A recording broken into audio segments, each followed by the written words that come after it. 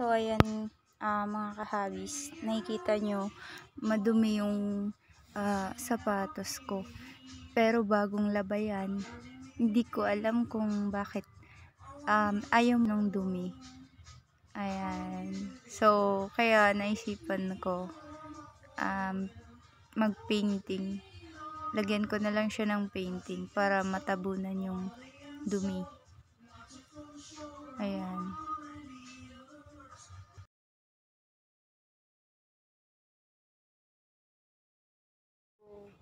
Bago yan, lalagyan ko muna ng tape yung ganda dito sa kulay white para hindi siya madamay. Hindi siya malagyan ng pintura. Ito, oh. Itong tape na to.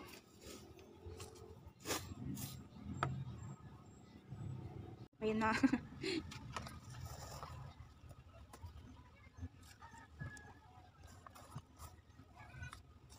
Ito na siya malagyan ng tape, guys. Ayan no. Tapos na. Simulan ko na siyang lagyan ng white paint. Ito.